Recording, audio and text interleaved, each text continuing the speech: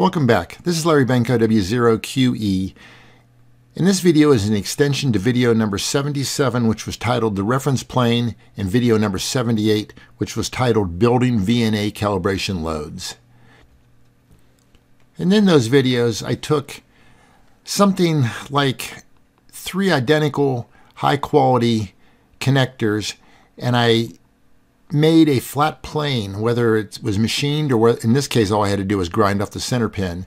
But I had an open, two small 0805 resistors, and a thin piece of copper or brass that was soldered for a short. And I measured those.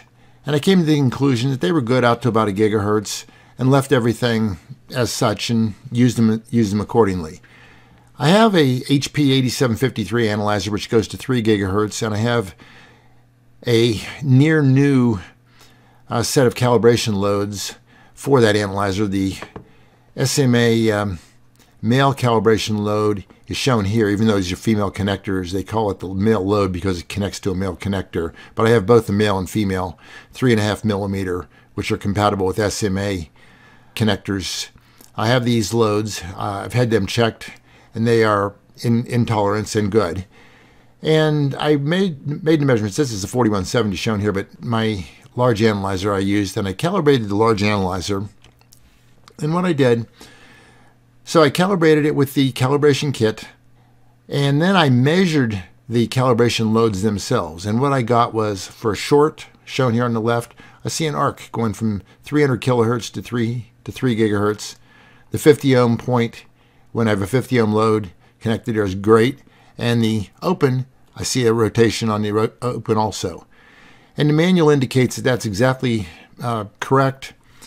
And the reason it's correct is because what they do is the VNA via some mechanism in here, it doesn't matter what it is, and maybe an adapter if you don't have the right sex calibration loads, Somewhere past the adapter here is where the actual reference plane for the calibration loads is.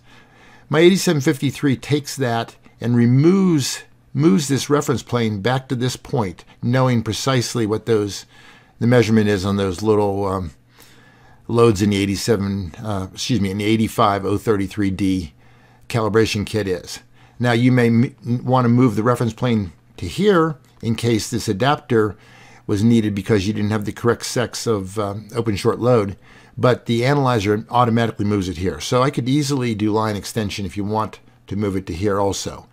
But anyways, I, I did this, and when I added 34.038 picoseconds of delay. Now, this analyzer does not call call the moving the reference plane line extension, which I think is a more common term. It calls it electrical delay.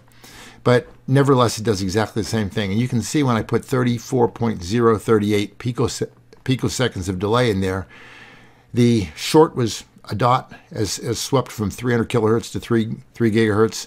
The 50 ohm load was a dot, and the open was a dot. So everything looks great. And then what I did was I took my loads and I put my loads on there. And again, with no line extension or no delay.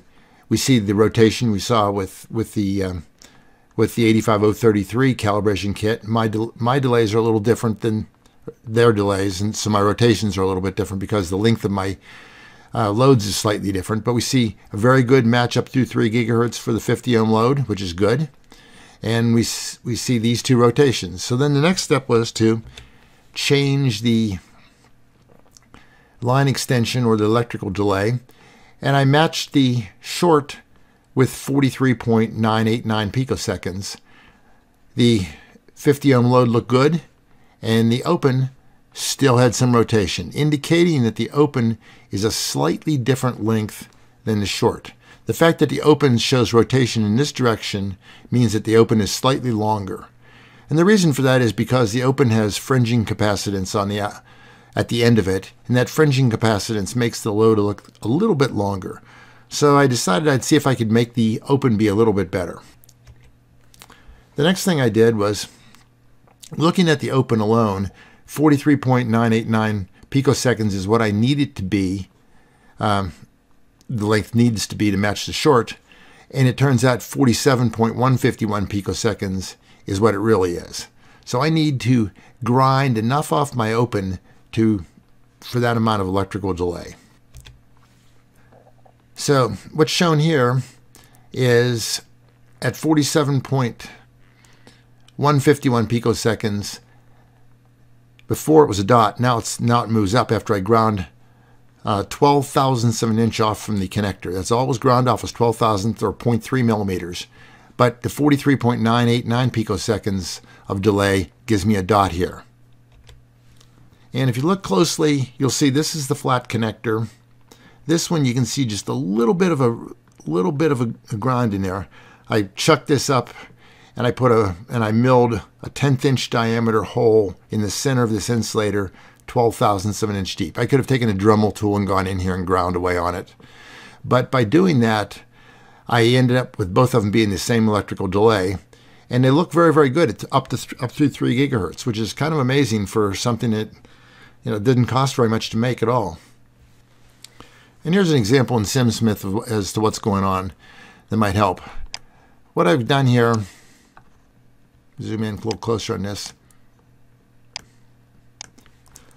I've got an open as referenced by this 1 gig ohm resistor. I've got a small piece of transmission line which matches my measurements previously, which is 11.34 milli inches. Now, 12 thousandths is what I ground off. 12 milli inches is what it is what I ground off. 11.34 is what SimSmith predicts. It's really hard at those kind of numbers to um, to see whether the dot's a dot or it's got a little bit of an arc. But if we look at 100 megahertz, what we see is no rotation at all. At a gigahertz, we see a rotation It's hard to see it if, you, if I get the whole Smith chart in here, but we see some rotation at a gigahertz, and we see more rotation at, th at, th at three gigahertz. And this is due to this extra piece, extra piece of line. And if we plot in SimSmith the phase of gamma, and I plotted that by doing nothing more than saying I plot gamma, gamma right here of G dot Zn, the input impedance right here, we see and I want the angle of it. We see that ignoring this 12 thousandths of an inch, uh, really, you know I mean, up to, say, 500 megahertz, it's less than half a degree of phase shift. It's about one degree of phase shift at, at a gigahertz, and it's about three degrees of phase shift or rotation uh, at three gigahertz. And that, believe it or not, that um, that's all it takes is the 11 or 12 thousandths of an inch to reduce that to that phase shift to zero. So anyways, if you've built some of those loads that I uh, proposed in video number 78 and you have the ability to grind off just a little bit of the open, they will work to a little bit higher frequency a little bit better. This is, you know, just, I suspect probably very few people will do this. And it's it's more of an exercise in understanding how important it is at these kind of frequencies to have the the reference plane be the same for all the loads, of course. But nevertheless, I thought somebody might, might find this interesting. And I will re report on the results for the uh, Nano VNA, which is what started this when I got the loads for the Nano VNA recently and I started measuring those. I'll do a video on that here in a little bit. But nevertheless, uh, I thought I'd mention that uh, this might be something some people might find interesting. Thank you again.